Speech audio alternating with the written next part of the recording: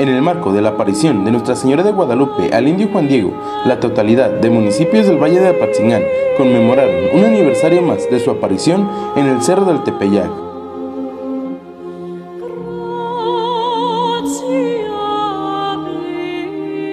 Así, y en un ambiente de paz y tranquilidad, se llevó a cabo el programa establecido para este día.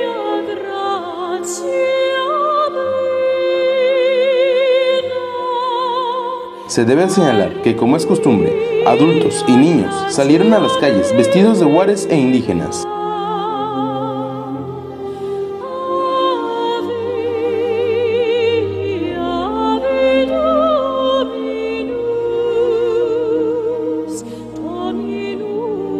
Finalmente, es de señalar que las festividades de la Guadalupana permitieron a la Grey Católica cultivar esta tradición religiosa.